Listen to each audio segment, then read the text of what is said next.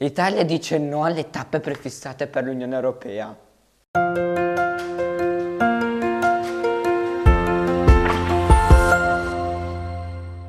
Ma stiamo scherzando? Cioè, ma si vede come il nostro governo sia un governo di trogloditi che vuole solo essere all'età della pietra? Cioè, allora, l'Italia appunto, come abbiamo detto, vuole dire no. Perché, perché dice che non deve essere l'unica eh, l'unica alternativa all'elettrico eh, per la transizione energetica, ma infatti, cioè, che ragionamento hanno fatto? L'Unione Europea ha detto stop ai motori diesel e benzina, non ha detto è solo e unicamente l'elettrico e basta, perché come sappiamo in questo periodo si sta iniziando a eh, produrre anche macchine tipo a idrogeno, non so, e dico, mancano ancora dieci anni. E vuoi che in dieci anni l'idrogeno non, non si sviluppi? Cioè, dico io, ma stiamo scherzando che poi l'Unione Europea ha detto stop, benzina e diesel, quindi le macchine a motori GPL e metano, sì, c'è in senso, potranno essere ancora prodotti. Quindi, cioè, perché non ne hanno parlato? Poi, cari trogloditi, se le macchine costano troppo, perché dite, eh, costano troppo e quindi la gente non riesce a comprarsene, ben venga, uno, ci saranno meno macchine in giro, due, si inizia a preferire eh, trasporti eh, pubblici, quindi anche per voi daranno anche più soldi perché dei trasporti pubblici devono pagare un biglietto che questo biglietto in parte viene dato eh, allo, eh, parte dei soldi viene dato anche allo Stato, no? Ma a parte quello le persone poi avendo, eh, usando i trasporti pubblici dovranno camminare per arrivarci oppure andranno direttamente al lavoro a piedi. Ciò vuol dire che uno fanno più attività fisica e quindi staranno anche meglio, no? Quindi si riescono anche, ovvio ci deve essere più organizzazione anche dalla parte dello Stato, quindi ci deve essere più impegno eh, per questa transizione energetica e due staranno in, in, linea di massimo, cioè in linea di principio le persone eh, staranno anche un po' meglio perché fanno più eh, attività fisica, perché comunque devono camminare, ma certe volte devono camminare veloci perché? Per arrivare in tempo, no? E quindi è, è un buon... secondo me l'Unione Europea fa bene a vietare macchina diesel e a benzina. Poi c'è anche questa questione del CPL che secondo me devo dire togliamo tutte le macchine a motori termici, quindi diesel, benzina, metano e GPL, ma metano e GPL non ne hanno nominato, ma questo eh, va bene anche perché tanto sono eh, macchine ancora di nicchia, mettiamola così, e non creano troppi problemi, il problema sono diesel e benzina. Ma secondo me, in realtà, il problema dello, de, di questi trogloditi è che la macchina elettrica non è comoda per loro, perché? Eh, perché comunque dicono, eh, devono stare, mezzo, un, eh, devono stare sette ore con la carica e quindi non abbiamo la macchina subito, però non dobbiamo pensare alle comodità, ma dovremmo iniziare a dire, ok, fino al, 2000, al 1870 o 90 lì, insomma intorno alla fine del 1900, all'inizio, de, alla, alla fine dell'Ottocento, inizio del Novecento, iniziano ad esserci delle macchine e da lì è iniziato a esserci una serie di fattori che hanno portato a essere sempre più comodi. Però questa comodità, come abbiamo visto, ha portato anche a, grosse, eh, a grossi danni per l'ambiente. E se vogliamo vivere, ehm, se vogliamo continuare a vivere, sai, ehm, cari trogloditi, dovremmo cercare di ehm, inquinare di meno. E qual è una tra le prime fonti, perché non è la prima, sono le macchine a produrre gas serra, che poi ricordiamo che le macchine non producono solo CO2, ma producono anche eh, NO2, ossido di azoto, che è altamente inquinante per il nostro ambiente. Voi direte, sì, ma si sono creati, ci sono le marmitte che impediscono questo passaggio, sì, ma non del tutto, e quindi una parte passa.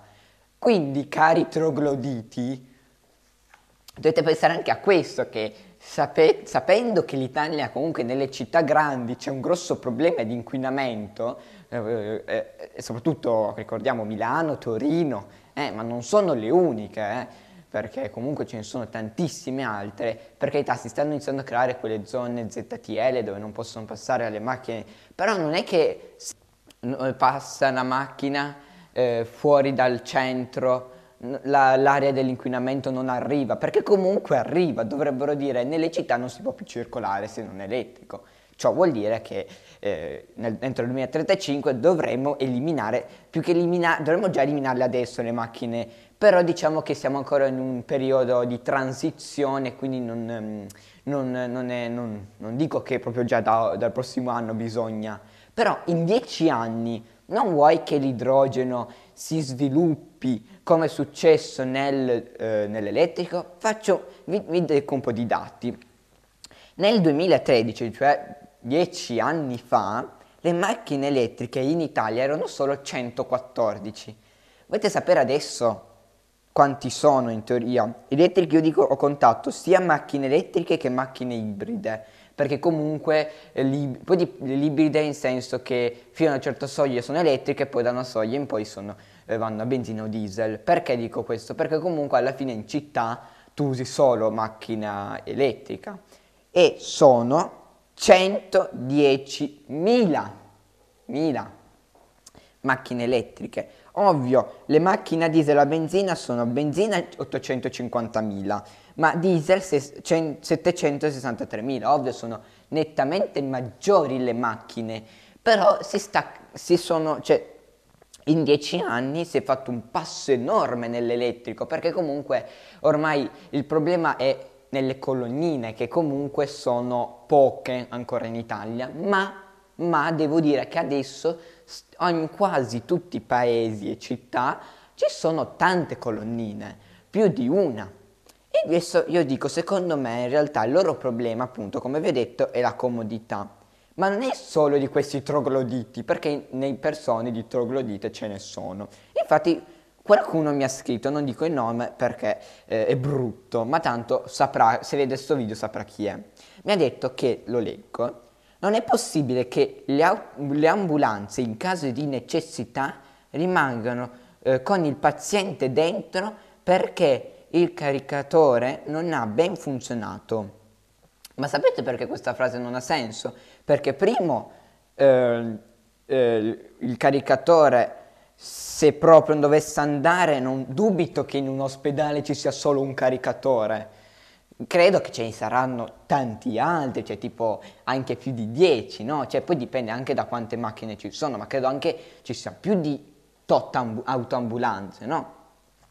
Secondo, appunto, ci sono più, più di un'autoambulanza. E terzo, se caso la sfiga dovesse venire, proprio in una probabilità, ma proprio in una probabilità bassissima, non dovesse funzionare né tutti i caricatori, tutte le autoambulanze e non se ne sono accorti prima perché sai in sette ore dubito che non te ne accorgi ma va bene ci sono chiamano un altro ospedale ad esempio da noi ci sono tre ospedali eh, vicini chiamano un ospedale e dicono senti tu mi puoi mandare una, un'autoambulanza e vai a tot indirizzo perché le nostre non funzionano e allora loro vanno perché dubito che eh, un altro ospedale ci abbia stesso problema perché sennò gli era proprio una sfiga pazzesca, cioè nel senso. Ma, ma anche, altro, c'è anche da dire che possiamo fare questo esempio anche con le macchine normali. Perché vi spiego. Se io prendo, carico di, magari una, un'autoambulanza diesel, mettiamolo che sia diesel, e io prendo questo diesel, ma questo diesel malauguratamente è sporco e quindi la macchina non va, non riesce ad andare perché appunto era sporca, non riesce a, a fare funzionare, allora cosa succede? Si blocca.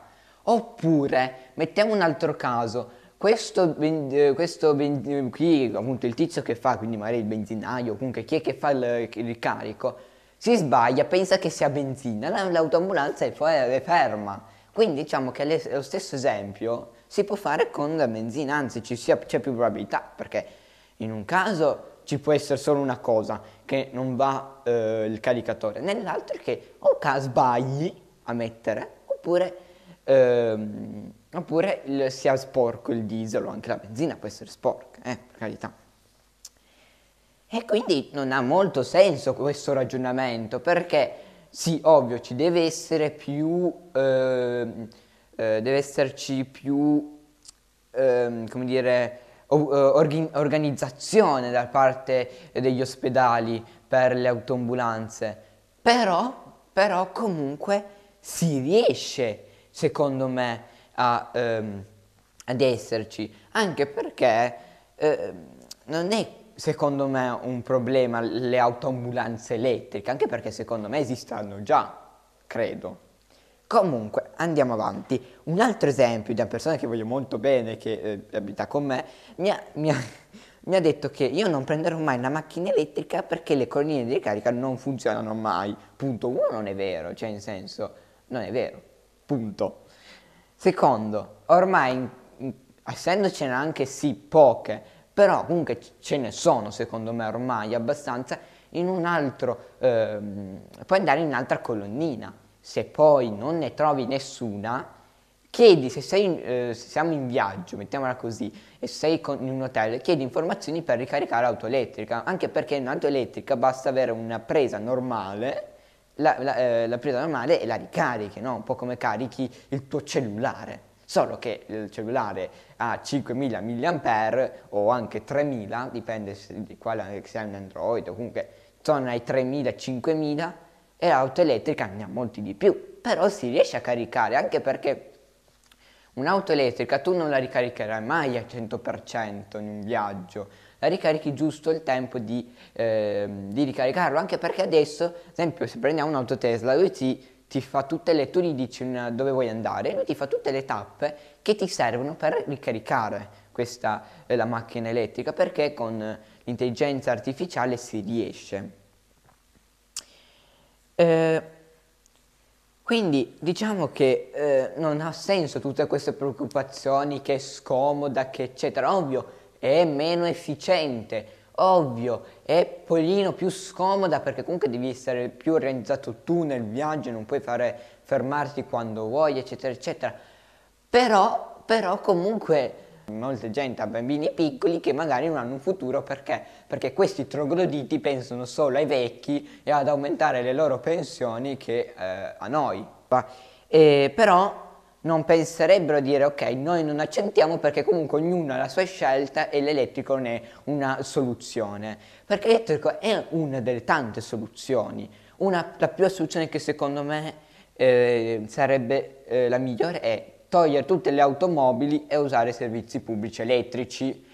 Però capisco anche che ognuno vuole avere una sua autonomia e, e non tutti possiamo le, eh, usare i, le, appunto, i mezzi di trasporto, no? Però comunque si può Uh, si può fare, ecco. Due, si può usare auto elettrico ad idrogeno. Invece questo governo no, teniamo la benzina perché è più comodo. No, cioè in senso, non va bene. Poi attenzione, non, sono, non solo l'Italia ha, eh, ha perplessità, cioè l'Italia e la Polonia vogliono dire no, la Germania è ancora, si, eh, si è astenuta, eh, a quanto ho capito.